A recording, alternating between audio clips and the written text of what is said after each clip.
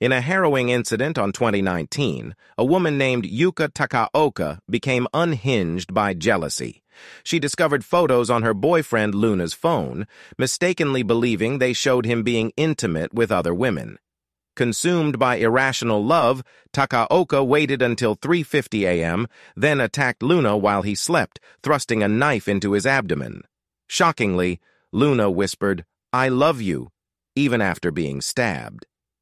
Takaoka, torn by her actions, carried Luna to their building's lobby, leaving a chilling scene of her sitting beside him, smoking a cigarette, legs drenched in his blood, as she ignored arriving officers.